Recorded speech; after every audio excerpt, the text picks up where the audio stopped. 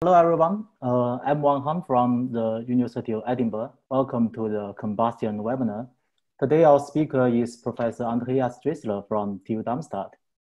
Professor Dreizler is very well known in laser diagnostics and combustion, so it's my pleasure to introduce him. Uh, Professor Dreizler graduated from the University of Heidelberg in physics in 1992. And in 1995, he received his PhD in physical chemistry at the same university. And in 1999, he was a group leader in the EKT Institute at TU Darmstadt, working with Professor Janicka.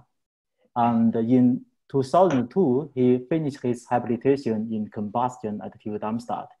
As you may know, the habilitation is a qualification required to obtain a professorship in Germany. In 2008, Professor Dreizler was appointed as chair of the Institute Reacting Flow and Diagnostic, RSM, at TU Darmstadt. So since then, uh, at TU Darmstadt, there are two strong combustion institutes, EKT and uh, RSM, working on numerical and uh, experimental respectively. Professor Dreizler is the main organizer for Turbulent Non-Premix Flame Workshop, TNF Workshop, and has made a large number of substantial contributions to quantitative measurements of reacting flow. This includes the world's first measurements of hydrocarbon concentration and temperature in turbulent flames, which could only be achieved through the ingenious use of nonlinear optical effects, such as uh, uh, scattering, as well as the first quantitative image measurements of formaldehyde information in SI engines and the turbulent transport in flame with the help with the help of LIF and the high-speed cameras. His results are being used all over the world to improve combustion models. Uh, Professor Dreizler has received a lot of awards and honors. Here I just want to mention a few. In, 2000, uh, in 2014, he was awarded the prestigious uh, Leibniz Prize. Uh, I think this is the highest award in, in Germany for researchers. Uh, two years ago, he was elected as fellow of International Combustion uh, Institute. Also, he was an invited lecturer for Princeton and the Tsinghua Combustion Summer School. Today, his talk title is uh, Laser Diagnostic in Combustion.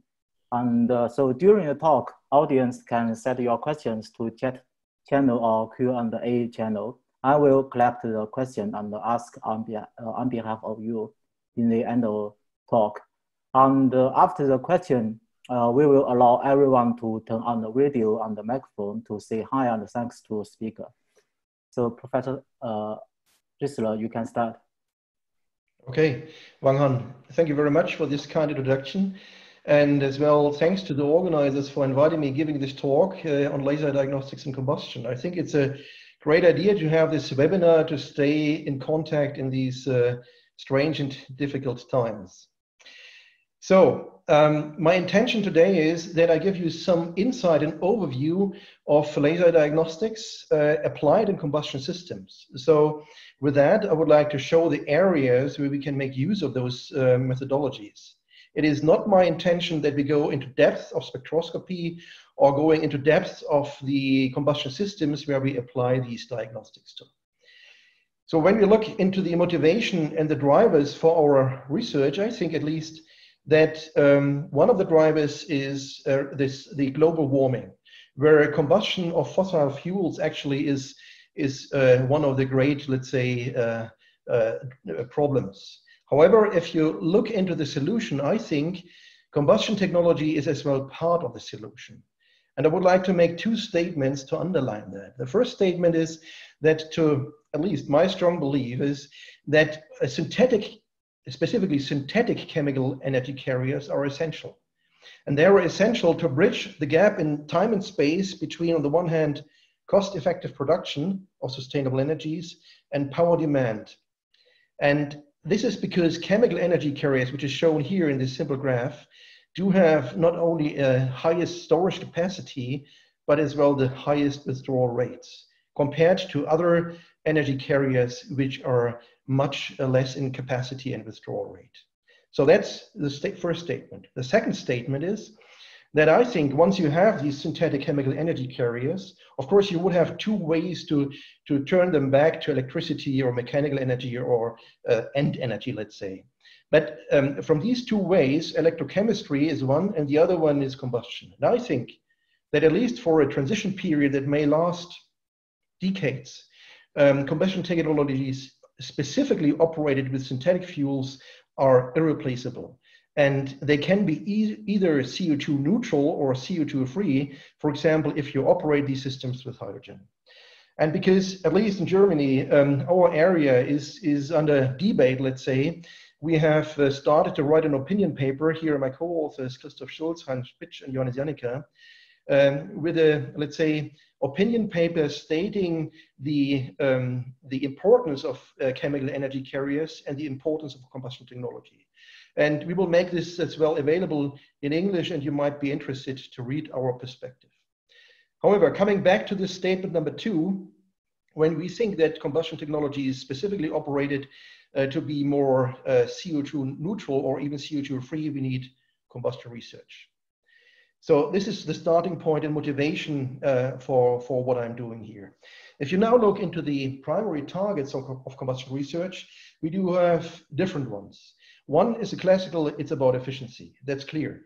The higher the efficiency overall, the less um, CO2 would be emitted in case of fossil fuels, or the less costly synthetic fuel is necessary for your uh, device. The second primary target is stability. We have to improve it, for example, in auto engines uh, to reduce cyclic variations or in gas turbines to prevent lean blow off or flashback. The third target is about pollutant emissions. So we have to reduce them further to fulfill as well uh, more and more stringent legislation by primary measures inside the combustor and by secondary measures by catalytic converters. And the fourth one is about flexibility. So here, specifically for power generation from sustainable uh, energies like wind and solar, we need to balance them. And that can be done, for example, by gas turbines. And we need flexibility in terms of fuels because we can expect there will be in future a higher diversity in e-fuels, biofuels, and fuel blends. And so this is um, what the, let's say, the, the targets are. And in this area, most of us do their research in, in combustion. Like in other communities, we follow um, an approach which is based on experiments, of course, strongly interlinked to theory, from which we try to deduce mathematical models which are accurate, physically accurate, that can then be implemented in, into numerical simulation. And here, numerical simulation, as something like a third wing of science, interconnects experiments and modeling from these uh, two perspectives. However, I think as well, very important for us is that we try to transfer our knowledge, our methodologies uh, into industry to really uh, enable a more CO2 neutral future um, in the, in the uh, forthcoming decades. In my talk, I will concentrate primarily on the experiments and it will have some aspects about transfer to industry. Okay, if you perform experiments in combustion, you need two ingredients. One is a setup, which depends on the purpose. It can be canonical, it can be a benchmark system, or even a real world system. Then, on the other hand, you need as a second ingredient a measurement technique that can be easily classified, for example, in being extractive and in situ. And I will concentrate here in my talk only on in situ techniques, which is laser diagnostics and combustion. I think um, it is still so specific or so special because you can measure without or only minimally in, in being intrusive so you do not disturb the flow and you achieve highest temporal resolution and very good spatial resolution. And uh, these techniques we apply since a number of years in different environments, as you see from this photo gallery here from my lab. Okay, so I will concentrate, as said, on this one specific aspect, this in situ measurements. Here, again, if you dig the next step into where these techniques can be applied, we can distinguish four areas. One area is about understanding phenomena. Here, you typically work with canonical configurations. And those can be let's say, transferred as well into benchmark systems where you have to control the boundary conditions to perform validation experiments to support numerical model.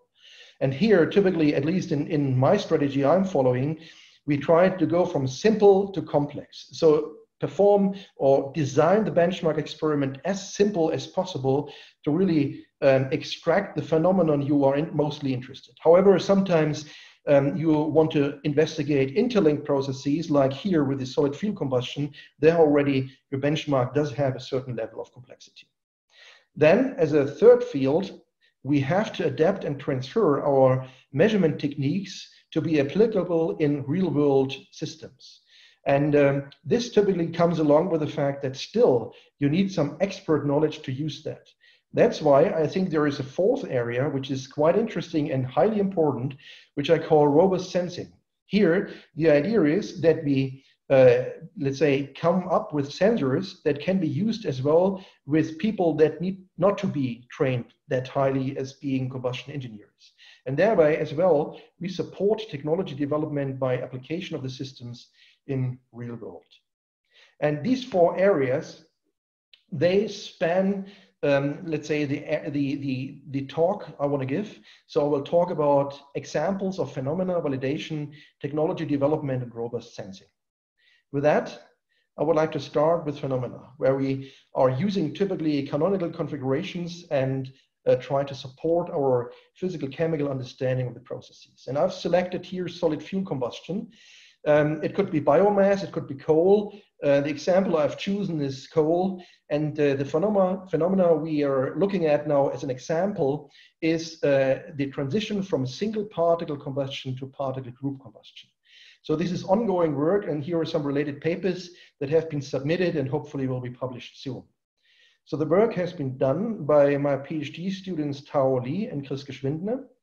Uh, last year, Dr. Köser graduated on this area, on this field of uh, research, and Dr. Böhm and myself are supervising this work. We are working closely as well with partners like uh, Dr. Schiemann from Bochum, and everything is uh, financed by the German Research Foundation in a so-called collaborative research center, which is about oxyflame combustion. Okay, so for those who are not so familiar uh, with this uh, type of combustion in, in solid fuels, I have here a chart showing uh, the temperature over time history. So when we inject particles first, they dry and emit uh, water vapor. After drying, eventually these particles might swell, followed by pyrolysis, where you do have here um, volatiles like CH4, H2, but as well tars that might ignite in this hot gas environment and then uh, form a volatile uh, uh, combustion phase, which is homogeneous in nature. After volatile combustion, uh, the, the particle might switch to uh, char combustion, which is heterogeneous in nature. And then uh, after these uh, C uh, atoms are consumed, you um, end with ash. So what we are looking at now is uh, the early phase up to the volatile combustion.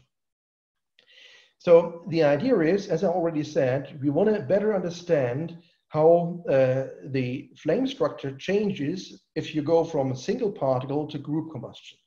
And so overall, of course, this is a 3D problem. We are facing diverse sizes and shapes from these particles. We are looking into particle-particle interactions. And uh, with that, of course, um, having said, um, we, we might as well observe different flame structures. And looking into these problems, we have developed over the past years high-speed imaging and extended that to volumetric imaging. And I'm going to show um, how we can apply these techniques to this uh, interesting and challenging uh, combustion phenomenon. So we, we look into a laminar flow reactor, which is shown over here.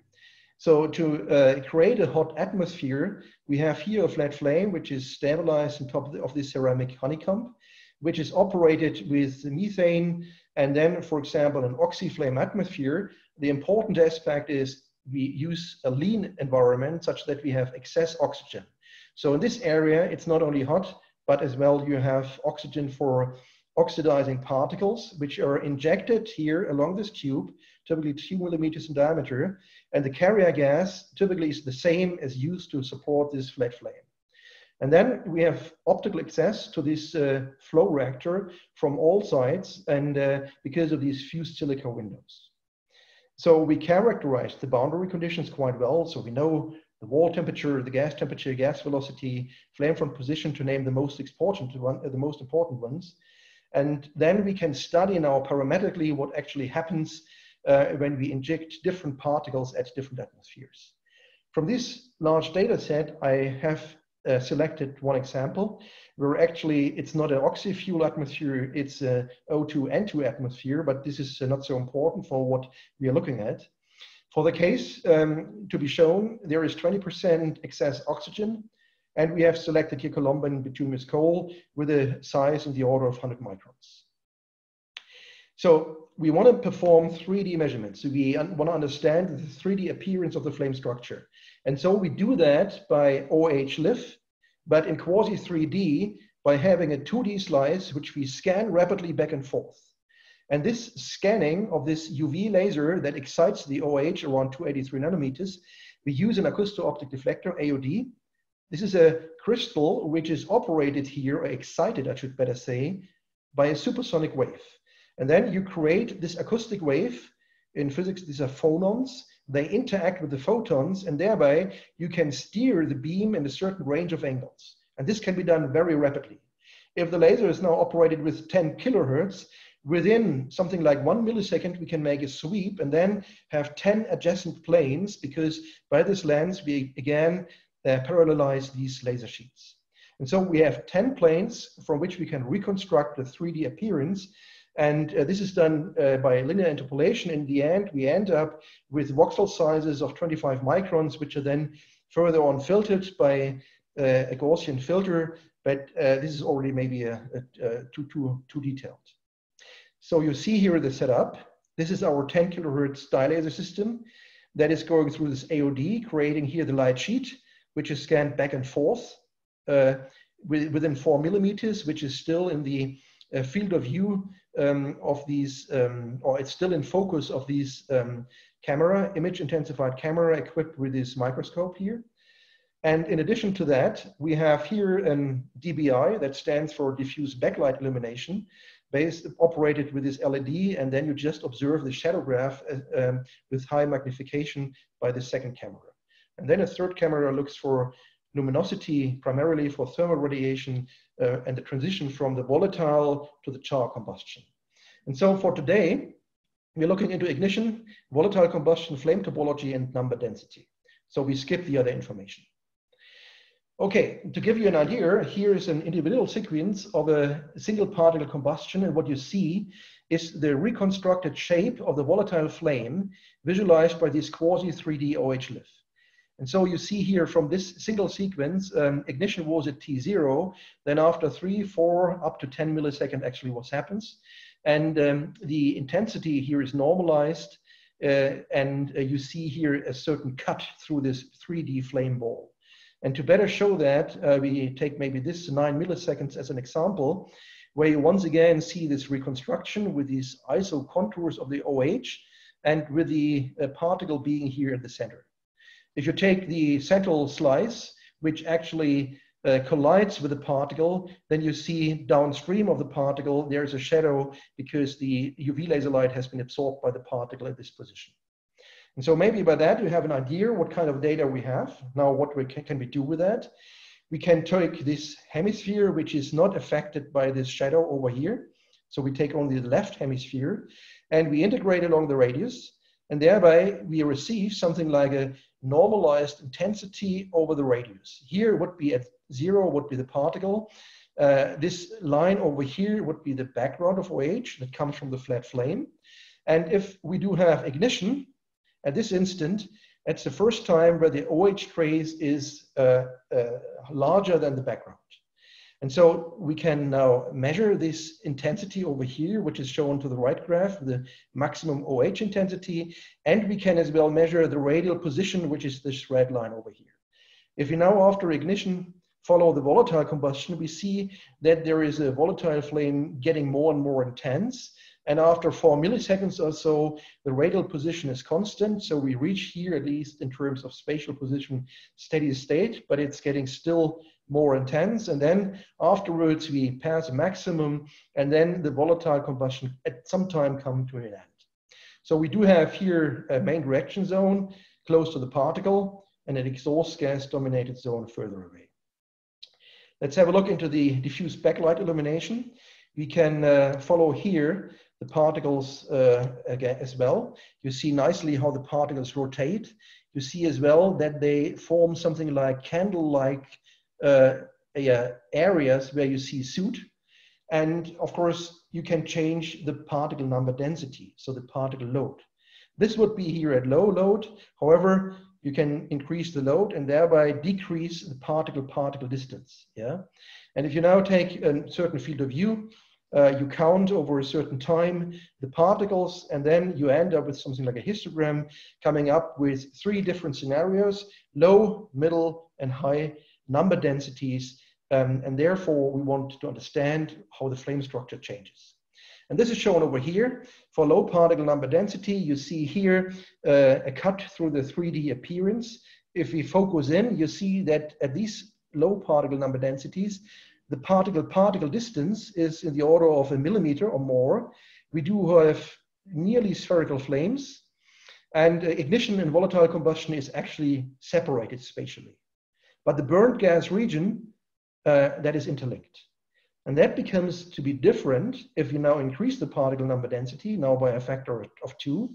You see that the particle distance uh, typically is now below a millimeter. And if you go into the focus here, it's not so obvious that you have the same flame shape around this uh, cold particles. They're not, not spherical anymore. And in the center, here's the central axis. There, the um, conditions are already starting to be fuel rich Thereby, you do have extinction. There is no uh, chemical reaction, or at least not nothing but produces OH.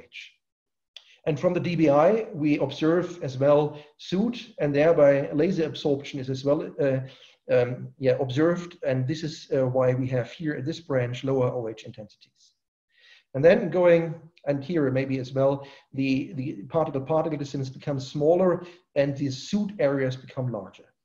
If you now increase the particle number density by a factor of four, the particle-particle distance has decreased to typically below a half millimeter. And now you see something which is very similar to a non-premix jet flame with a certain lift-off height and an area where you have no uh, OH produced at all, a central region which is very fuel rich and uh, not too much oxygen is my guess.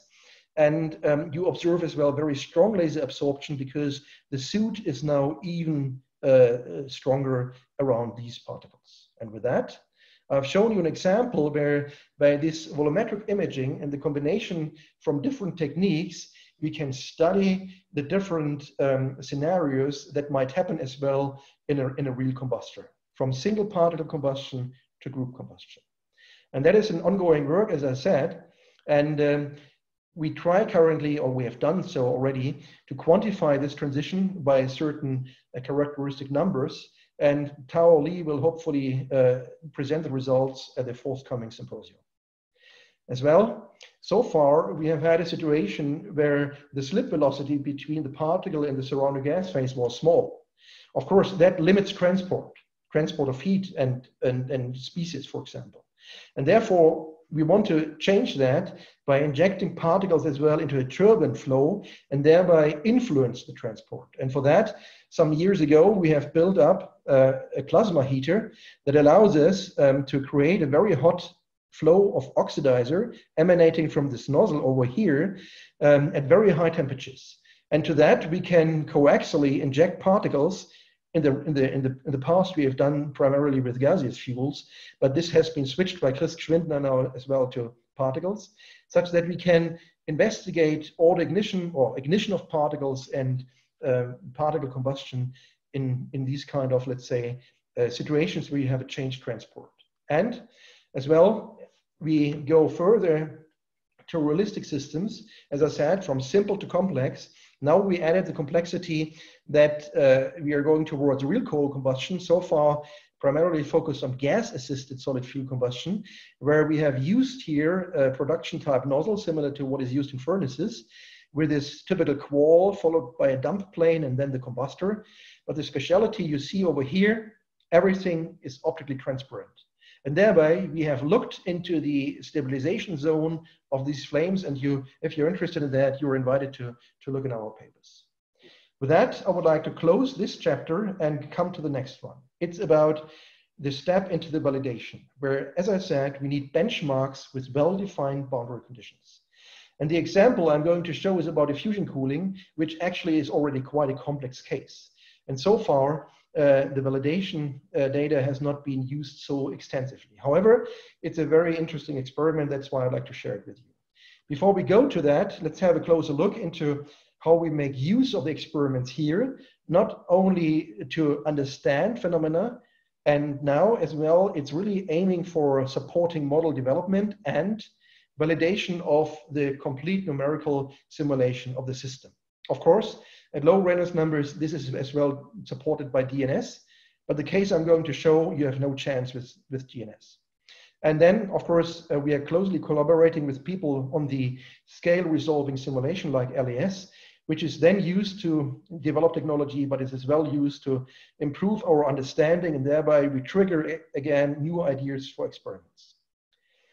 So let's have a look into the progression of benchmarks. When I started with this business 30 years ago nearly, uh, the, the simulation were dominated by RANS. By that times, the end of the 90s, the TNF workshop has been established. We started to look to, into simple jet flames or piloted flames. So here are some of the typical TNF flames uh, shown as, as photos. Then with the advent of low resolution LES, maybe 20 years ago, it became possible as well to come up with more reliable simulations of more complex flow fields like in bluff bodies or swirls. Nowadays, we're looking into multi-regime combustion, which as well is from, from the simulation side, the combustion modeling quite, quite complex. But with the advent of uh, even more computation facilities, we are now in the area of high resolution LES, where the uh, geometries are become more and more complex. Looking into the implications for diagnostics, we started with single point statistics like laser Doppler velocimetry and complemented that already in the early days by Raman and Rayleigh scattering, uh, particularly in the Sandia National Labs. Then with low resolution LES, we added specifically two point statistics and scalar gradients. For example, here 1D measurements in these kind of flows. And then with the advent of high resolution LES as well in diagnostics, we we uh, progressed and added multi-parameter measurements from flow and scalar fields.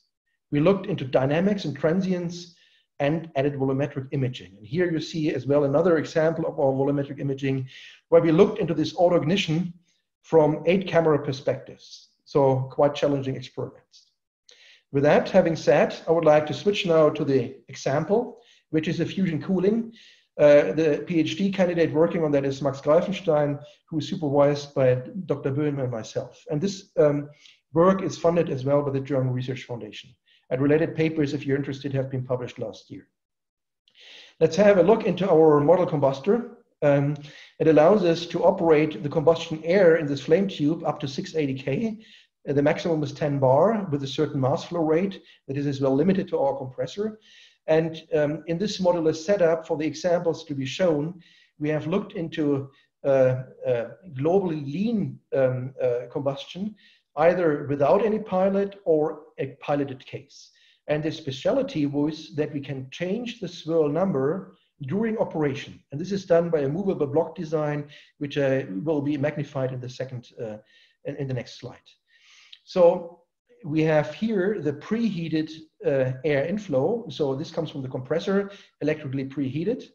Then we do have here uh, the um, jet in a cross flow mixing from our natural gas or methane. Uh, then we do have here our movable block design. Uh, this is a, the swirler. And then you have here an annular gap and a mixing pipe for further pre-mixing. Uh, and then uh, eventually, if you want to have as well here centrally in the bluff body, which is shown in, in yellow, there we can inject as well fuel as a pilot. So this um, um, nozzle is installed to this flame tube shown in red. Uh, it's here 100 by 100 millimeters, 180 millimeters long. It does have a contraction nozzle, which is as well here water cooled. We have optical access from two sides horizontally and from top. And at the bottom, you see now our effusion cooling plate. So this is here the region of interest. And here is uh, an own design. This is not commercial. That's why I'm allowed to show it. Uh, we have here, in our case, 145 holes in 13 rows. And the diameter of these holes here is two millimeters and they're inclined by 30 degrees.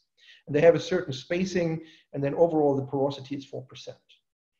So I have now selected one um, certain condition where the combustion air was 623 K and the cooling air, which can be controlled independently, was as well 623 K. The system was operated at two and a half bar um, and overall lean, either um, with or without pilot. So this case, lean premix is without pilot. And uh, with a, uh, the other case, there 10% of the fuel was injected centrally through this um, jet in the center. And the swirl numbers we're looking at have been varied between 0.7 and 1.3.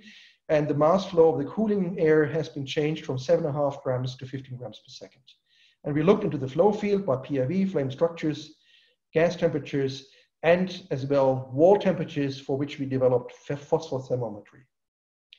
To start with, I would like to show here typical, let's say, um, insights into the near wall region. So for your orientation, the flow comes from left to right. This is the effusion cooling plate, and we look here at two holes. And what you see is um, relative OH distributions. And we do have different typical scenarios. One scenario is that um, the uh, uh, unburned gases from the nozzle, they, they are not always separated from the effusion gas, and thereby um, you might have dilution um, by cooling air prior to combustion. Another scenario might be that um, these uh, flows from adjacent holes combine, and thereby you see strongly varying angles of the effusion cooling jets. And in some other cases, there will be as well even no penetration of the cooling air as shown here, and thereby the cooling efficiency is decreased tremendously. Let's have a look into the flow field. I show only the mean flow field for a certain example with a high flow rate of the uh, cooling air and the small flow rate of the cooling air. And you see here how these jets leave the, these, these holes and interact with the bulk flow. At the high flow rate with 15 grams per second, this penetrates something like two and a half millimeters. However, this is decreased to uh, something like one millimeter if you have the low flow rate. And you see as well in the second hole over here, this uh, flow is more or less completely blocked um, and thereby the cooling efficiency will be strongly affected. Looking at the gas temperatures, we have done that in certain areas in the, in the combustor. However, the closest position to the wall was half a millimeter on top of that. And this was done by CARS point-wise, and then we can reconstruct uh, the mean um, temperature field. And so the flow in this perspective is from bottom to top, uh, again with the first and the second hole shown for high flow rate of the cooling air and small flow rate. And here you see the color code of the temperature, and you see quite nicely that with a high flow rate, you have a larger area where you have relatively low temperatures around 800 or 900 K, which is distantly smaller for the small flow rate. And looking in the uh, probabilities to find temperatures, uh, for this case, with 15 grams per second, you have a monomodal distribution, whereas uh, for the low flow rate, you have a bimodal distribution, which means that in this case, uh, all the uh, realizations have been uh, all within the flow of um, the effusion cooling here, whereas here you sometimes switch as well into areas where or situations where it's completely burned gases in your measurement volume. And this is reflected as well in the wall temperatures measured by thermographic phosphors, YAG europium we have used, where for the high flow rate you find this flow comes from left to right, uh, small temperatures around uh, something like 1050 K here, and even colder downstream. And for the low flow rate, you find uh, 50 to 100 K higher temperatures. And if you increase swirl from 0.7 to 1.3, the, the upstream uh, positions of the wall are getting even hotter uh, and above 1200 K. And with this information, we can now quantify the so-called total cooling efficiency. And this is defined, this is a number between zero and one and is defined by the temperature in the bulk. T infinity is the temperature in our case along the axial coordinate of the combustor. The cooling air temperature is uh, the 623 K that goes into the cooling plate, and the wall temperature is actually what we measured. And so if the wall temperature would be the cooling temperature, this quantity would be one, and you would have a perfect cooling efficiency. However, the wall temperature is typically uh, hotter than the cooling air and thereby the cooling efficiency is below one. And you see here the cases for the high and the low flow rate and here uh, for the axial position and for increasing swirl. And what we observe is that higher flow rates in the effusion cooling means that the cooling efficiency is better if you compare these numbers. We observe, secondly, that swirl uh, causes higher wall temperatures and reduces the cooling efficiency. And interestingly, downstream, the effect of swirl and the flow rate uh, vanishes. And so I think this is now a case with very well defined boundary conditions and would be nicely uh, suited for validation, however, um, already a very complex uh, case. With that, I would like, again, switch gears and come now to the third chapter, technology development, where our idea is to adapt and transfer our methods into real world geometries. And this is done by a PhD finishing this year, Christian Fach, again supervised by Benjamin and myself, and this is a collaboration with the Daimler uh, company uh, not far from here. And here, Dr. Shaw and Dr. Krüger are our collaboration partners. And I've selected an example where we have developed an endoscope uh, to look into real IC engines. And the idea is here to look into transient operations because those are interesting because here pollutant emissions are increasing tremendously. And this is as well true for soot. And of course, an engine manufacturer like Daimler wants to reduce primary particle formation. And to better understand what's going on in the engine, we performed multi-parameter imaging, but with an endoscope, and thereby operating with a real engine. And so the real engine is a one-cylinder production type geometry. It's unmodified with regard to piston and piston rings. It's lubricated with oil. And this is already very different to typical transparent engines we have in our lab, for example. Um, the liner here is equipped uh, with um, a sapphire window, 70 millimeters tall, but just a few millimeters wide. And this means that the, the piston rings, they go over it uh, and um, uh, we, we have almost no impact on the thermal boundary conditions.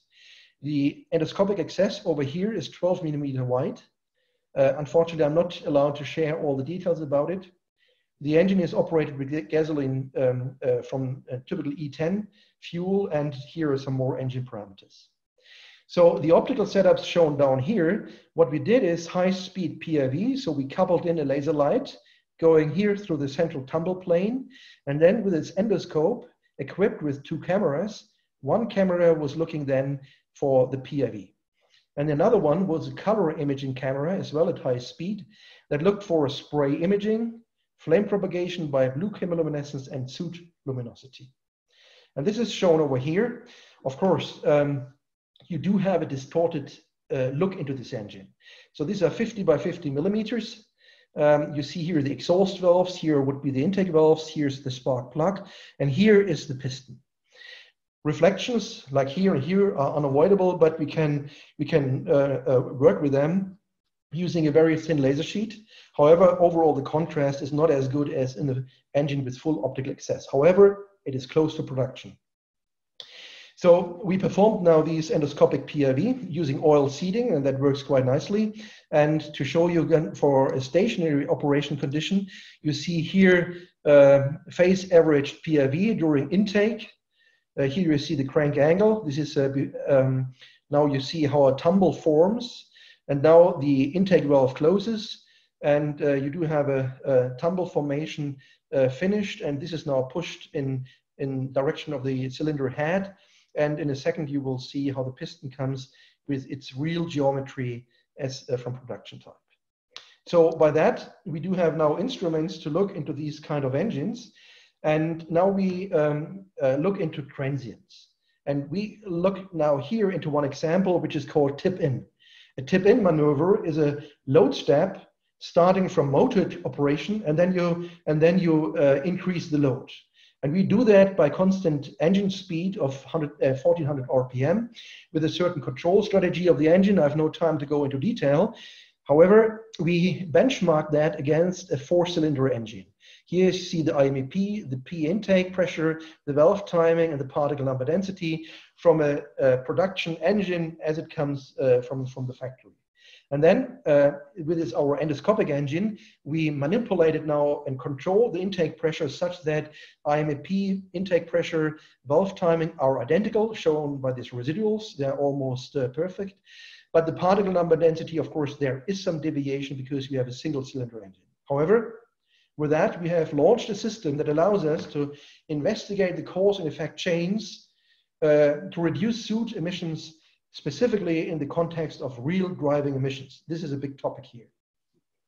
And so because of restricted time, I will look into only one cycle during this transient. So this tip-in starts somewhere here and over here. This goes over more than 30 cycles. And I selected here a cycle uh, from the center with 2.65 bars. And we measured now multi-parameters already stated, the in-cylinder flow, spray, combustion, soot formation. And um, I will give you here the, uh, yeah, some insight into the data. These are single realizations of the flow field for this individual cycle with different crank angles here during the intake phase, and then later on during the compression phase. And these can be now correlated to what happens later on. So what happens is now that we can look into spray. Here you see from this specific cycle, how the spray interacts with a, with a piston over here. It's an early uh, injection, um, but you have strong uh, interaction with the piston wall with splashing and all the phenomena. Then this is the crank angle. And then we make a jump. Now we're uh, uh close um, after, after ignition. Here you see now how this flame first bluish stabilizes and propagates, and then soot is formed in the gas phase. And then eventually the flame uh, interacts with the walls, and thereby you find now here pool fires. And this kind of data is now used to understand parametric sensitivities to prevent furthermost these events even during transient operation. And with that having said, um, we have developed a tool that allows us to investigate these cause and effect chains uh, here for this example of soot formation. And this brings me to my last uh, chapter about robust sensing. So this endoscope you have seen is still a very complex um, measurement uh, technique. And the idea, of course, is in future to transfer this methodology as well into application without this expert knowledge. And we stay with real driving emissions. And I will show you a recent development of an in situ exhaust gas sensor developed in the group of Dr. Wagner. He's uh, with this uh, group high temperature process diagnostics, who is part of my institute. Dr. Diemel, who graduated last year, and Luigi Biondo, who is a current PhD working on that. And this work is uh, supported by a local uh, foundation, and again, the German Research Foundation. So again, it's about real driving emissions. We want, to measure and later maybe control the real pollutant emissions during as well transient operation. And for that, we want to measure the exhaust gas composition, yeah, shown over here, consisting of many different molecules and changing temperature. And for that, we need a robust multi-species diagnostic method. And for that, we use tunable diode laser absorption spectroscopy. So in principle, and a very simple idea. You have here the laser launched um, or fiber coupled. Here you launch it, then you have a certain absorption path that can be as well folded to increase the path length. And then you uh, monitor the remaining intensity, which has not been absorbed here, and this is then detected. And to visualize what's actually happening, you see here an example of water, where here's the laser shown in red. If you now uh, operate the laser and increase the laser current, you change the wavelength and the laser intensity. So this is the characteristic specification or the characteristic of this uh, diode laser. And if you now pass uh, an absorption line like here from water, you find here this absorption feature. You can flip it. You can um, use the ideal gas law um, in connection with the temperature, which we deduce from Boltzmann fractions with the measured pressure, with the known absorption length, and the transition strength, a spectroscopic uh, information we need, then we can, uh, by integration of this feature shown in this integral here, we can deduce the concentration. And this is done now in a, in a highly integrated multi-pass absorption cell in our example, where we measure water because from that we deduce the uh, path average temperature. And this is done in the near infrared. Then we measure simultaneously CO and CO2, again in the double pass manner at 2.3 and 2 microns. And then as well NO and NO2, which is here in the mid-infrared. And because of the low concentrations of these uh, um, species, we, we perform these measurements with a white cell. So there's a white cell included into this uh, sensor, which has here in the order of 50 to 60 millimeters diameter. So, which means, uh, summarizing that up, it's four optical channels, all fiber coupled. Resolution is high enough to really follow transients. We can install the system as well, not only end of pipe, but as well close to the engine. And because uh, 800K of water temperature is okay. And I've already talked about uh, the idea increasing the absorption length by a white cell. However, for the strongly absorbing species, a double path uh, turned out to be okay. And here you see once again the construction around uh, this module that is then very compact and robust. And we have extended that already in the, in the time to other species that are of high interest to us. But this is not published yet.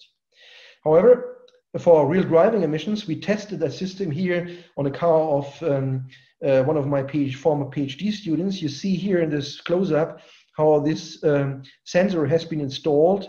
Uh, it's uh, coupled with these fibers uh, with the electronics, which is inside. It's, it's very small. Steven Wagner and his group as well work to reduce the size of the electronics we track as well other parameters like position and environmental data. We have as well access to the CAN bus interface and thereby can link it to, to the engine control. However, to give you some insight about the capabilities, uh, I have chosen here a different example where we used our sensor uh, in comparison to a reference system.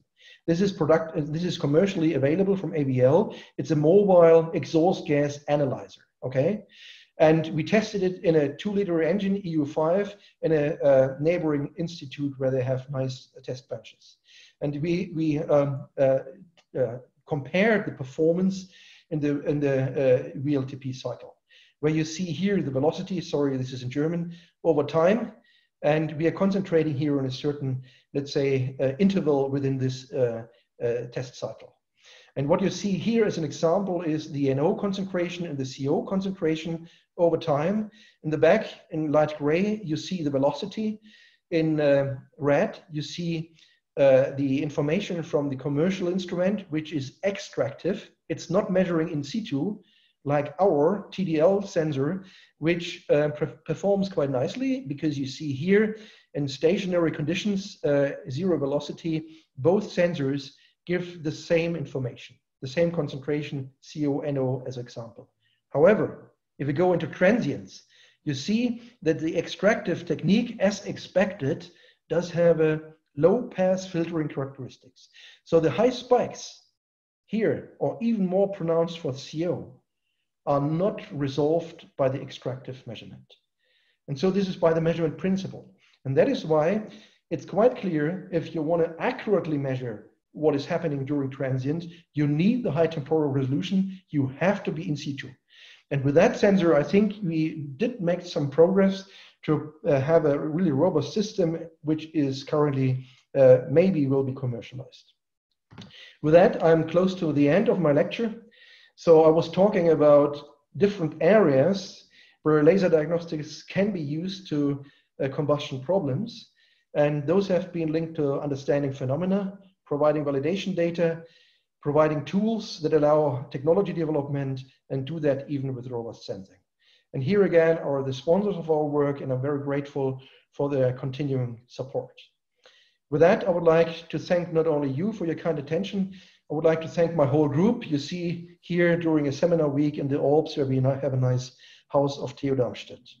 However, I would not like to end before I have announced um, a summer school which has been postponed to next year, where with the support of the Combustion Institute, um, we have a topic on near wall reactive flows, June next year, with a number of distinguished speakers.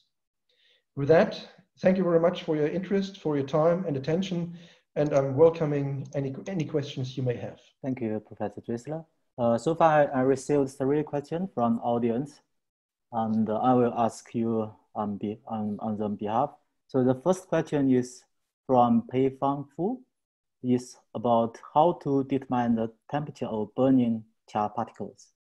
Okay, this can be done by a thermography of the surface.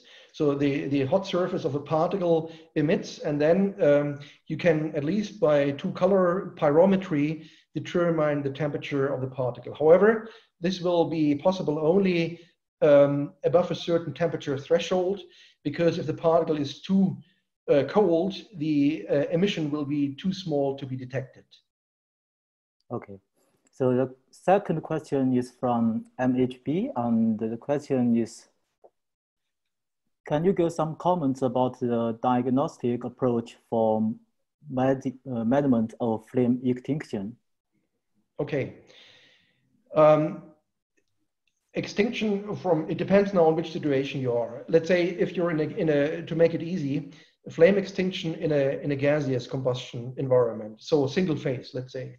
If you do have here, um, like in the Sandia uh, flame series, uh, Sandia A to F flames, the flame E and F are already showing some extinction.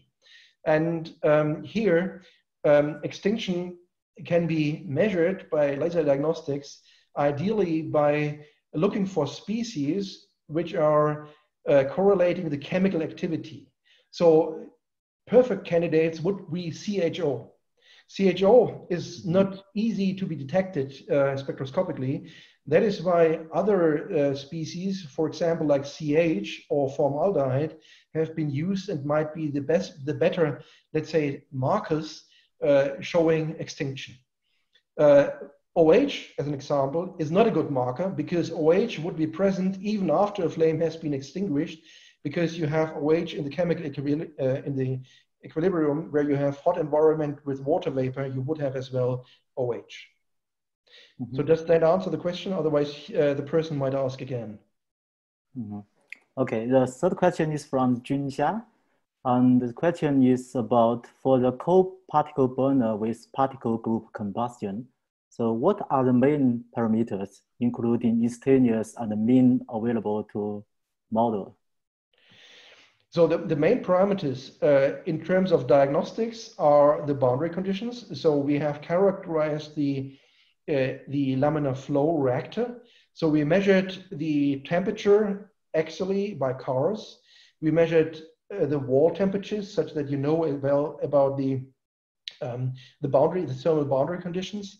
Um, we we uh, have all the information about the flat flame going into the system.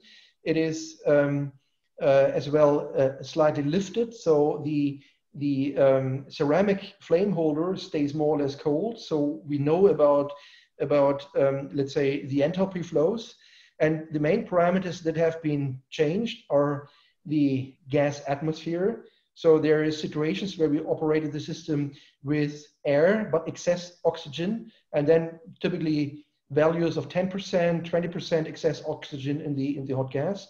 And we operated as well with O2 and CO2 to have an oxyflame environment.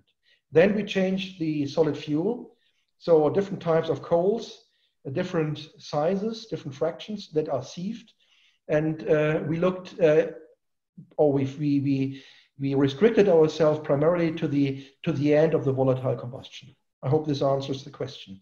Um, the data are available uh, to a certain extent and they're available upon request. Okay, good. Uh, this is Jun. I asked the the question. So so what you, what you have talked about are the boundary conditions, initial conditions. I understand that.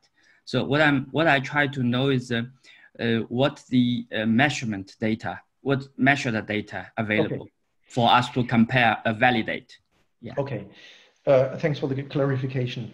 So what we do have is um, the, the particle topology. So the single particles are projected and with a high spatial resolution. So we have their shape and we have their corresponding uh, diameter. Um, we do have information about the flame structure, as, as, as said, uh, starting from, from ignition, volatile combustion up to the end. And we have uh, particle velocities and uh, what, what I missed, the, the, the particle-particle distances. Uh, yeah, maybe I have to go into my slides again to be sure that I don't miss anything. But these are the primary parameters. Yeah. So topology of the uh, about the topology of particles, dynamics of particles, and combustion properties. Thank you.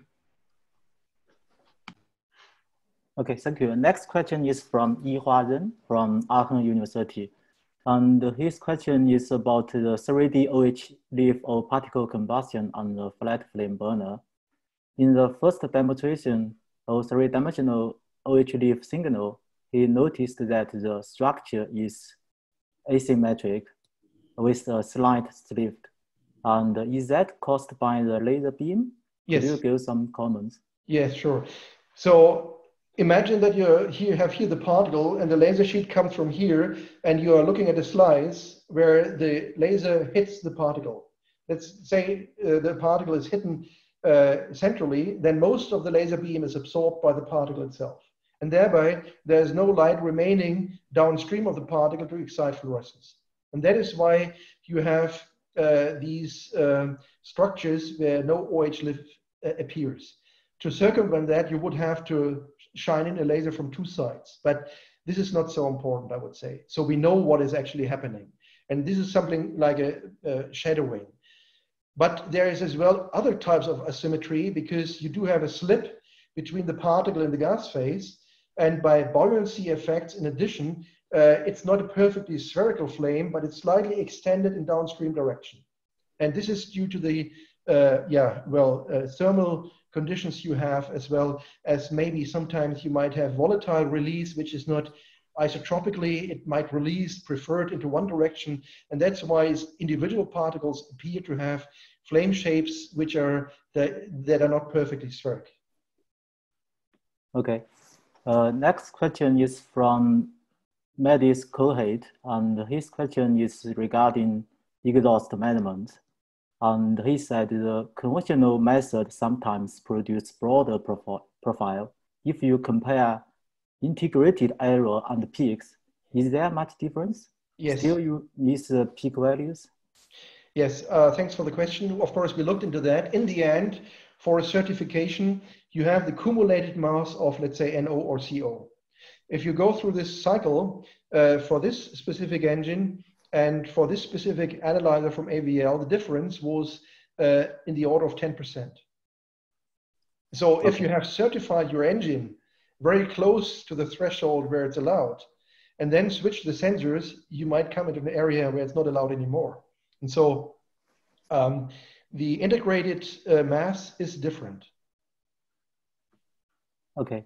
Uh, since time is up, I, I will ask uh, one question, one last question from panel.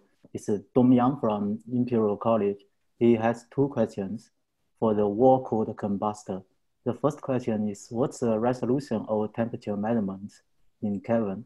How close to the wall and how fast can the dynamic temperature perturbation be measured?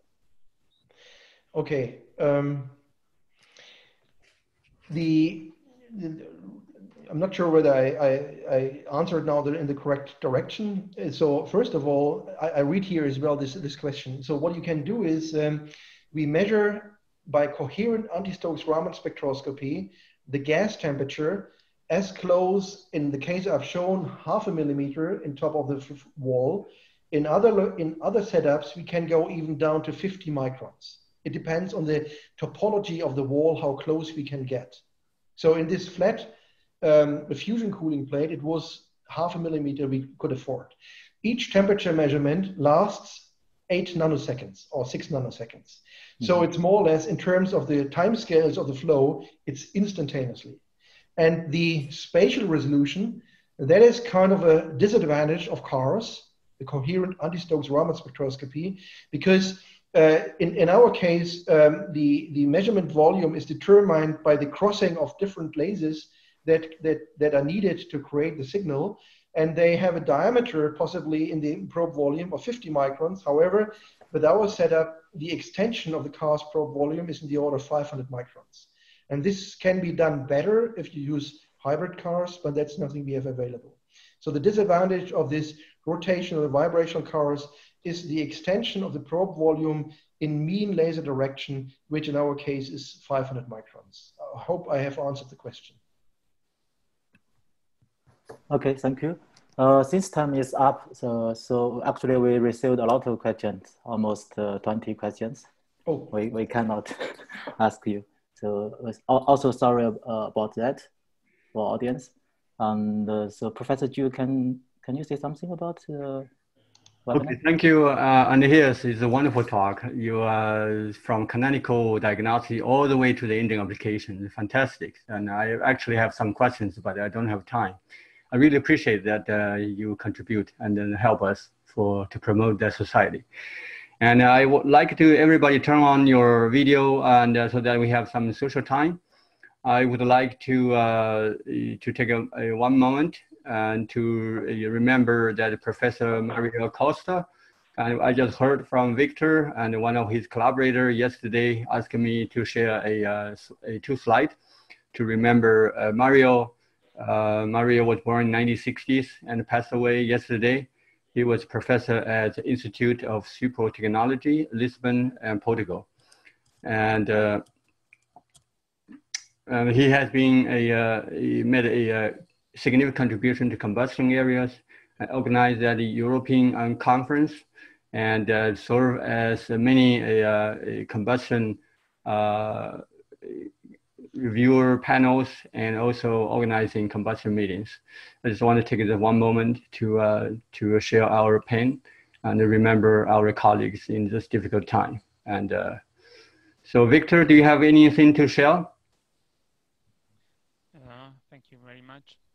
So actually, uh, I uh, met uh, Mario Costa in 2015 when I was a PhD student. Actually, I'm not strong, strongly related to his group, but I was shocked by how energetic his person was. So, so actually, he he was a quite brilliant uh, uh, scientist and and also quite brilliant uh, uh, uh person. So so I'm fortunately I had the opportunity to, to meet uh, him uh, several conferences, and uh, he he always supported me and other young students in combustions to progress, and and highlighted some issues how to improve and uh, and he always uh, supported uh, everyone to to make progress on on their work. And he he was quite professional in in networking. So uh, so he organized a lot of conferences, not only the mentioned ones, but uh, but also some some other uh, smaller and larger conferences as well. Unfortunately, I couldn't find enough data, bibliographic data in the internet, but. Um, but uh, it uh, shows uh, how how